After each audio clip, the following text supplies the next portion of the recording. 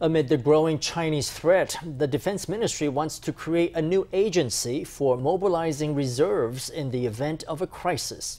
Under its plan, the agency will be responsible for mobilizing reserve sol soldiers and civilian forces, like volunteer firefighting squads. The Defense Ministry also wants to amend the law to add new categories of civilians to the call up list. One category could potentially be volunteers at local temples. Temple volunteers already assist in disaster relief, for instance, by providing food for victims.